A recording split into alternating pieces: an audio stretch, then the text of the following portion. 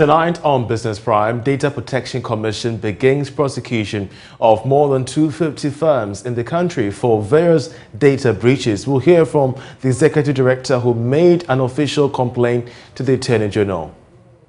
So today we came to present a list of these defaulting institutions uh, to the Attorney General and the value of the amount that they owe uh, us as a government institution, which is money for the government, to the tune of about 1.5 uh, million Ghana cedis earlier by government to account for COVID-19 spending raises concerns about the prudent expenditure management among the country's international partners. Till date, the calls for forensic audit of the COVID-19 related expenditure have not been heeded, and that has given room for all manner of accusations and counter-accusations. When a health sector has strong and organized financial management framework, Plus, Cocoa Board begins implementation of rehabilitation program for farmers in cocoa growing communities. The policies our chief executive and his able assistants have put in place so far are yielding positive results. So we are telling the farmers to buy into Board's policies. All these business stories coming up shortly, but we'll begin the bulletin with commodities.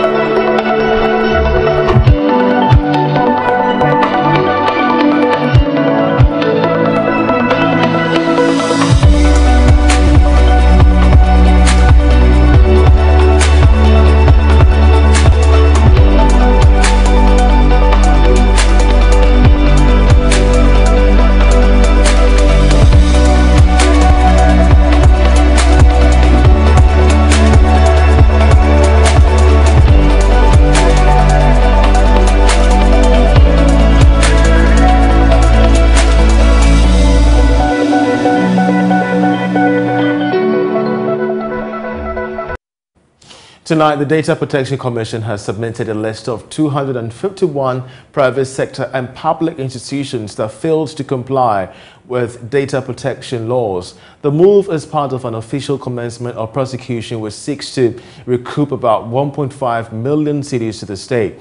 The Executive Director of the Data Protection Commission, Patricia Adusei-Poku, has been speaking to journalists after handling over the list of defaulters to the Attorney General's Department.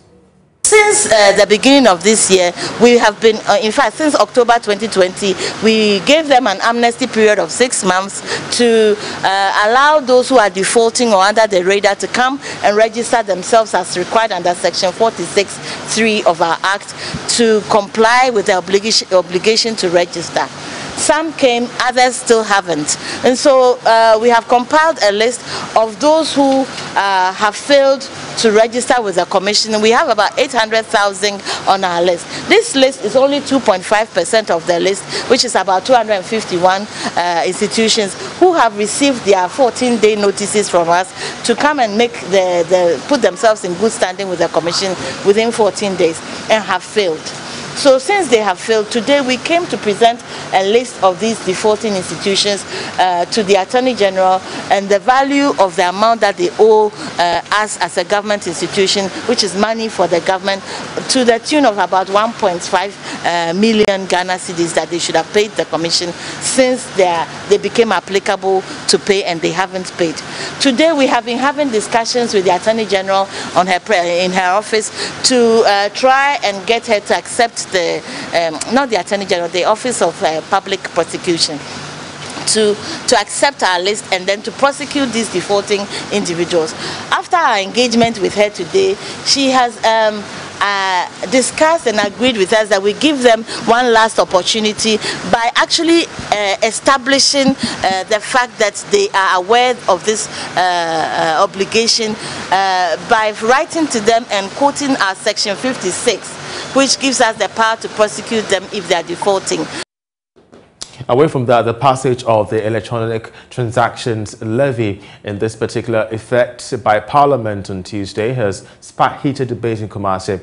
After repeated objections by a section of the Ghanaian public, many are surprised at its passage. Some supporters of the e-levy are, however, unaware of the percentage deduction of each transaction they make.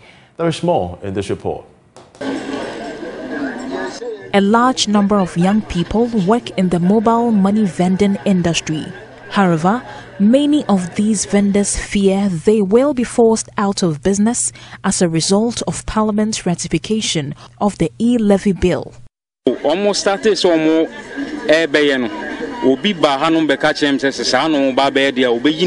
Some customers have been here to withdraw all their money. If it continues this way, our businesses may collapse.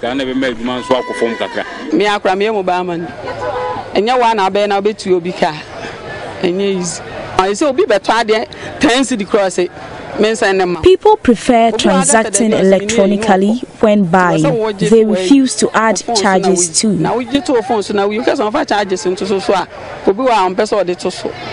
nti ɛyɛ saa no a wokasa wɔngye nso ɔbɛkɔ na wo market no so ɔyɛ de eh, ɛɛkɔ fam Some respondents are also keen on accountability for levies charged. yɛ diesel a diesel petrol a ɛyɛ kan ho adwuma yɛyɛ every mondays biara yɛyɛ nkisi ayi fuel. With a consistent increase in fuel prices, e-levy is not a good move. Ghana. Yɛsika mu adwuma mu yɛnyɛ bi nyɛ yɛnyɛ adwuma nyɛ ɛdɛ kakra obi de akɔ akɔto n'akanso mu. Ɛno mo teɛ ɛno deɛ ayɛ adwuma bɛn ɛwɔ ɔman mu. Yɛhu adwuma koro a tetetete de ayɛ deɛ a ɛne yɛbɛhu till we see what the e-levy charges will be used for we would not accept its passage. sɛ ɛnyɛ ne ya. But yɛn nea ɔde sika na ɔyɛ no. Ɛnti na sɛ ɔte obi a ɛyɛ obi aya.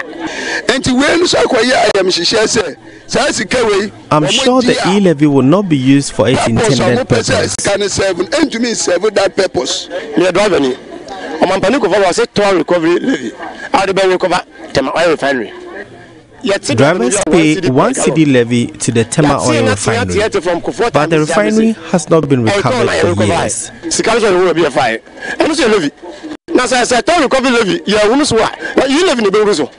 There are, however, others who believe the passage of the e levy is a good move by the government. The government knows best. Let us comply with them. nti na ɔde aba sɛ ɔpɛ sɛ ɔde saa adeɛ no yɛ adwuma nti nyinaa nti asɛ ne anyi ntom ne yɛnhwɛ sɛdeɛ mmaa no si akɔ Mona Lisa Frimpong reporting. Now, the inability of governments to make all expenditure and procurement on COVID-19 mitigation efforts public is a cause of worry for the country's international partners. This is according to BudgIT Ghana, which has increased speculation that government is not transparent and accountable to citizens. The group is calling on governments to heed the call for a forensic audit into its COVID-19 expenditure. We have more in this report. The partners, led by Budgets Ghana, held a roundtable discussion to deliberate on accountability in the procurement processes and expenditure sector since COVID-19 outbreak. Executive Director for Budgets Ghana, Ray Fifi Inkum, in a speech, stressed the need for Ghana to show to the world how expenditures were managed during the hike of the pandemic. He assured that the group will push to get accountability from government. The primary role of financial management in the health sector is to manage public funds and risk in a way that helps to increase access to quality health care. The COVID-19 pandemic and the confusion that rocked the states over lack of accountability should serve as a lesson to all of us. Till date, the calls for forensic audit of the COVID-19 related expenditure have not been heeded, and that has given room for all manner of accusations and counter-accusations. When a health sector has strong and organized financial management framework, the state is able to provide efficient health care to all citizens. Some members of the civil society organization in health say they have no option than to apply to the Right to Information Office for all the data on government expenditure. Here is Felix Ankwa of the Economic Governance Platform. Last year in March, IMF published, published a list of countries that are complying to the present the receipts and stuff. And you have countries like Afghanistan, Iraq, which are war torn, having documented, scanned documents of procurement and everything. But Ghana was not on the list. And you can see from the presentation right now, I think we already we had one score out of a whole lot of six or seven. So that shows the gap. Information is key for accountability. So government needs to provide those information. So are you, are you going to make use of the RTI to seek for more? Definitely, I think it has to. Since it has been I think there, there needs to be more tricks about it so that it's easily accessible. You know, the roundtable is expected to come up with some recommendations for the government. Has begun the implementation of what they call the cocoa rehabilitation program for farmers in cocoa growing areas in the central region. The program is aimed at cutting down all diseased and unproductive cocoa farms and replanting them with hybrid cocoa seedlings to improve cocoa yields in the region, addressing farmers at a rally to sensitize cocoa farmers in the uh, Agona Nyankrom District. Cocoa Officer of the Cocoa Health Extension Division of the Ghana Cocoa Board, Prince Philip Awentie, entreated the farmers to embrace the policy to enable them fare well in the cocoa business. Richard Kojonyako has more in this story. The purpose of the cocoa rehabilitation program for the farmers is to cut all diseases cocoa farms of farmers at no cost to the farmer. The farmers are then paid a compensation of 1,000 Ghana cedis per one hectare for a farm cut. The replanting cost, according to Cocoa Board, is also borne by the government. With this program, the Ghana Cocoa Board replants with plantain suckers as temporary shade. With every one hectare cocoa farm, 1,100 plantain suckers are planted to provide temporary shade to the cocoa seedlings during growth. Nyankrom District Cocoa Officer of the Cocoa Health Extension Division of the Ghana Cocoa Board, Prince Philip Awensi explains the Ghana Cocoa Board has recruited farm hands who work at the cocoa farm at no cost to the farmer. We regularly meet our cocoa farmers who are the producers of the crop to interact with them because uh, Cocoa has put in place a lot of productivity enhancement interventions so that at the end of the day, if a farmer is harvesting, say, three, four bags per acre, the farmer can do more than that. We are talking about 10 to 15 bags per acre here. So as part of our educational program, we came to meet uh, farmers here to sensitize them, to tell them to actually implement whatever policy Board has put in place so that at the end of the day, the results will show on the field. So that is why we are here. We are basically here today for Farmers Rally to rekindle, to reawaken their spirit with regards to cocoa farming so that at the end of the day, they will see that whatever intervention Board is putting in place, it is yielding positive results.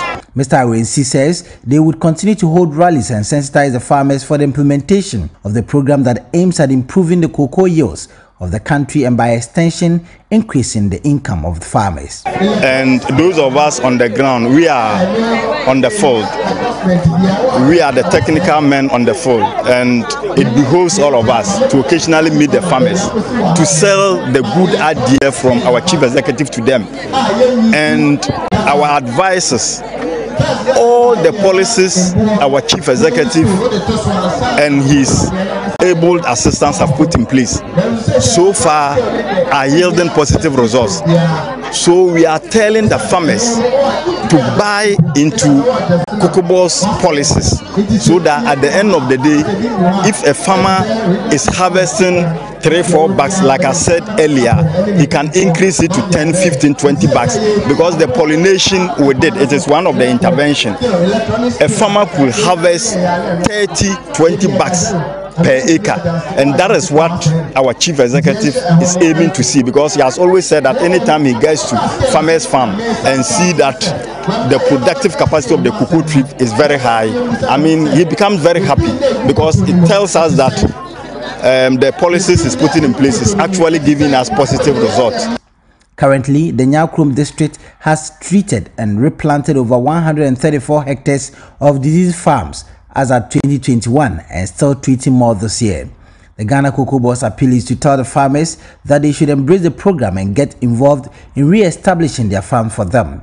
Reporting for Joy News, Richard Kwejunyakon, Cape Ghana can access the $32 trillion global real estate market if government and players in the real estate industry institute better financing structures for housing. According to a retired professor of urban development and management studies at the University of Ghana, Professor K.C. Sebeyadom, having the right financial structure is a huge step for the country to attract huge investment. He spoke at a real estate workshop organized by the University of Ghana Business School. Government and professionals in the real estate industry have been urged to properly structure their financing to attract international investments. Speaking at a real estate workshop organized by the University of Ghana Business School, retired professor of urban development and management studies, Professor K.C. Sebeyadom, advised participants to look beyond the country for funding for the sector. What we're having now is that a lot of our major developments going on, with all due respect, Madam Chairman, in Ridge airports, cantonments are being financed from outside. Our banks, even if the funds are com were coming through our banks, then some capacity building will, you know, help the banks. But no, I'm telling you that there is real estate funding sitting. You know, if you have the right structure, you can access it. Money doesn't know location or, you know, doesn't have any color. All money wants to know is that it will come back. And if the money knows that this place is even so profitable, it's not coming back. It's, it will continue to stay there. The University of Ghana Business School has introduced a new master's degree program in real estate financing. Chief Operating Officer for CH Group of Companies, Cynthia Akwe, lauded the university for developing such a course. A course in the UGSB, UGBS program covering policy and environmental legal frameworks, as well as social and affordable housing, will be welcome. Real estate is a tangible asset. You can touch it and feel it. And that stops people thinking past the physical. But you absolutely need to understand the finance behind it to get it right. A mix of real estate expertise and financial skill is a very powerful pairing. Today's real estate developer or investor needs to be more numerate than his or her predecessor.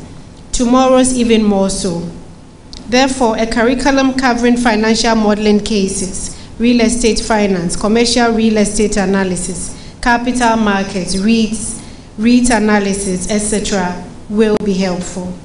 Deputy Director General of the Securities and Exchange Commission, Paul Ababio, indicated that since the establishment of the Real Estate Investment Trust, there has been little or no investment in the sector, despite real estate being a determiner of the state of a country's GDP. Typically, the market is ahead of a regulator, unfortunately, in this space. Uh, we got pressure to do this guideline, but when we finished it, we asked who's coming to do it now, and we're still waiting. Um, if you look at GDP measurements, um, the ancillary services from real estate, um, accounting, legal services, banking transactions, all feed into GDP measurements.